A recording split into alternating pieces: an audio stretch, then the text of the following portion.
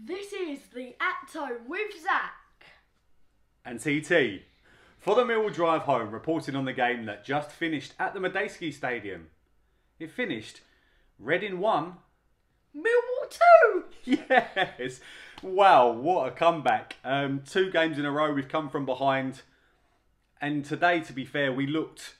We were lucky to win 2 1, I felt. We, we You- were more shaky today. Yeah, yeah, you said at the end we were a bit more shaky. I don't think we fully deserved to get all three points, but we got three points nonetheless.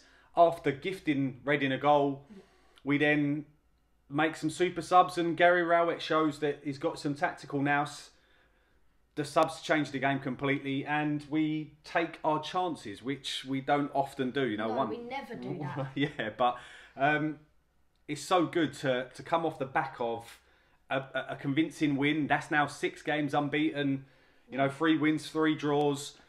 Good, run. It's a good, it's a decent run. We last lost at home to Forest in in the middle of January, so we're on a decent run, and it's good to see the players fighting. Let's make no doubt about it. We've had injuries. You know, Kefton, no Kefton Beld in that team, no Leonard in that team. Two of our best performers in the last two or three games. Especially in that midfield. Yeah, and um, Evans comes in and does a, a, a fantastic job. Um, the commentators were saying when Murray Wallace comes back, Murray Wallace can fit in a back three, and then um, Evans can come further Ev- forward. Evans can come further forward and into that's midfield. you know without Murray Wallace, you know every team in the championship's going to, uh, to go through injuries, but we just don't really have the strength in depth to see us step up the way we did with the players that we did on you know coming off the bench is is a really good sign. We started with the three kind of two wing backs, two midfielders, and then you know one two. That was our formation, which is a bit of a weird formation, but obviously we had a back three of Cooper, Hutchinson, and Evans, was he? no. Who else did play in the city? Who else It was played? Evans. Was it Evans? Yeah. But then he, he- uh, yeah, but it, with the change, he moved into centre midfield, didn't he? Mate, Yeah, started as a centre back. Um, I thought he played really well first half, other than he slipped um, a little bit for the on about the 40th minute when with a chance, which we'll go into in a minute. Right wing back was Mahlon Romeo. Left wing back was Scott Malone.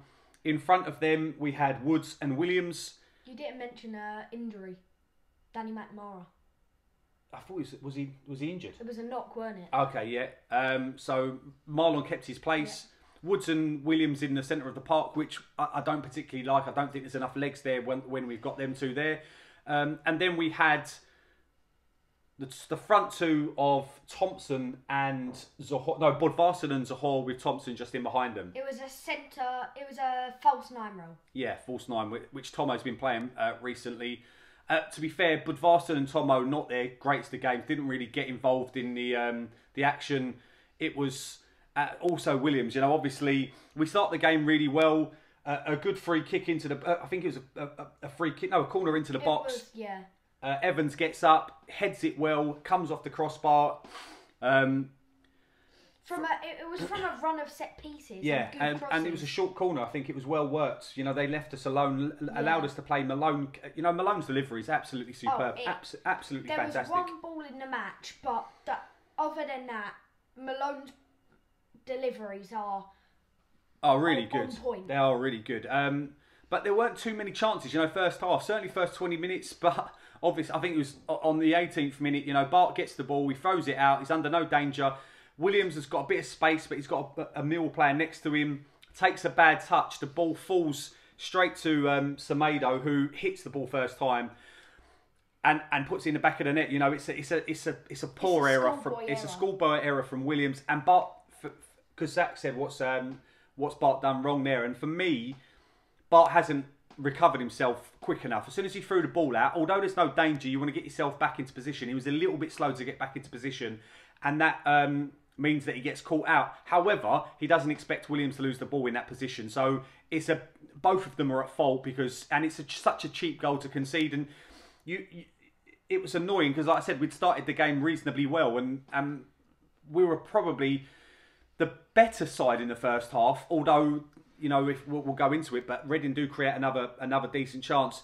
Evans um, has a free kick that drops to Cooper. You know, Evans from deep drops to Cooper. Cooper knocks it. I think it, it kind of knocks it down. It bundles around and drops to Tomo, who's about ten yards out.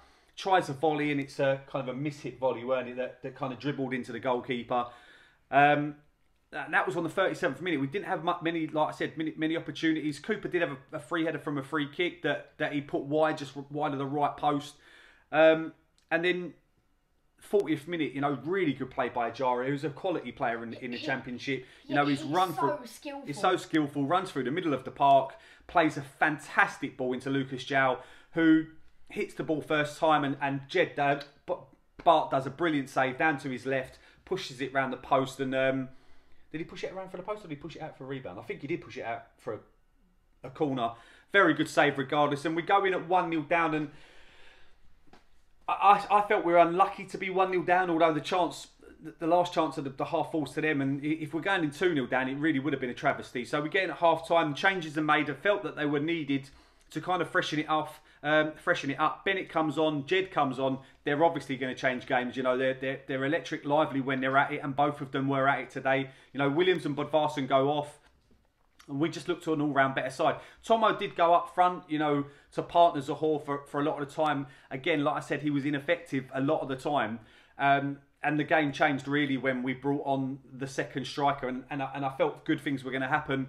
Um, I'll go on to my man of the match now because this kind of fits into what I felt he'd done really well. But my man of the match today, without a shadow of a doubt, was, was Mahlon Romeo. You could give it to Smith for him changing the game and Bradshaw but I thought Romeo had a consistent game all the way through. He'd done well in, in, in the back five, stepped up again in the back four, but he was always willing to run on the ball. I felt he um, took the pressure off of us a lot of times, which is, you know, it doesn't always happen. I felt that he, he was really good today. And, and what, what did you think?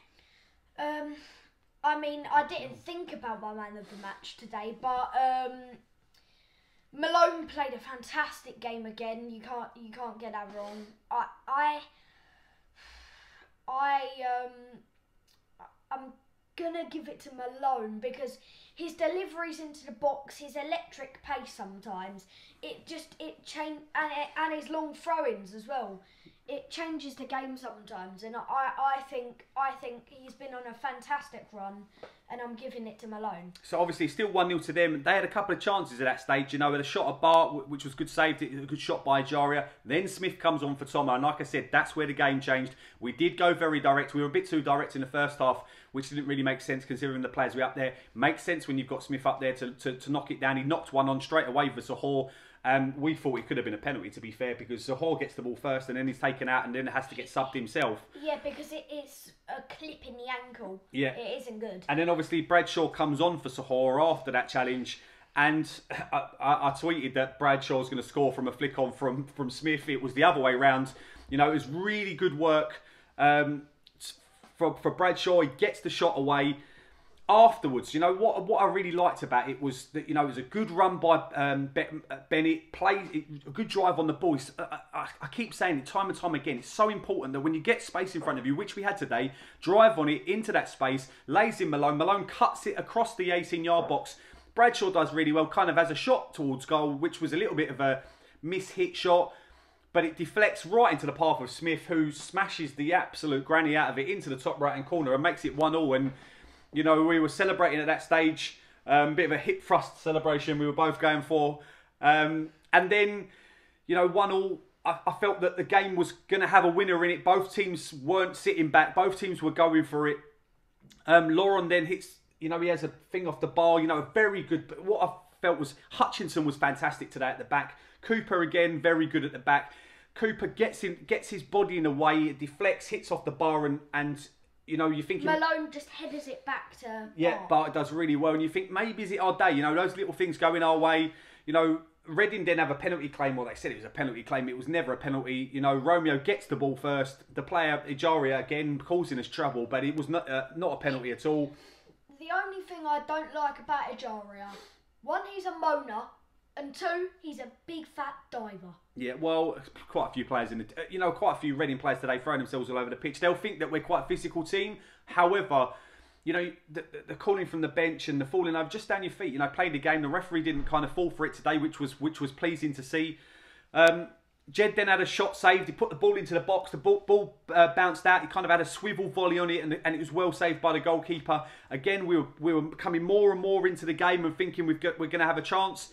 Malone then has deflected shot, uh, deflected cross. The ball's played out to him on the left. Another, you know, ball into the box. It doesn't matter if you just want getting the balls into the box is going to create trouble. It loops up. Bennett kind of loops the header into the back of the net, makes it two one, and It was a fantastic header. you know, Zac jumps into my arms at that stage, and you know, there's still a long way to go, still 12 minutes to go. But I felt that we kept up the intensity. You know, a fresh Jed, a fresh Ma- uh, fresh Mason, able to to run the ball down. And I thought Smith in the corner, even Smith running down the channels. You know, looked really lively. And um, there's, there's going to be a lot of talk about him starting the game, but he does what exactly what Matt Smith does. You know, he comes off the bench and creates blimmin' havoc. scores. Yeah, he scores goals.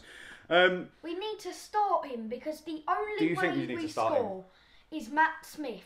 Every single, nearly every single goal, he's a part of. He's so good. it's hard to argue against starting him because of the fact that he does score goals. However, he's so impactful when he comes off the bench. You know, you you. The, the problem for me is players. I, I, I just don't see what Bodvarsson offers on a consistent basis. Bradshaw looked better today, um, far more lively than, than than you've seen him. I know he likes to run around a, a, a lot, but I felt that he was you know getting his body in the way. He was uh, you know, Gregory esque, but obviously helps create the goal.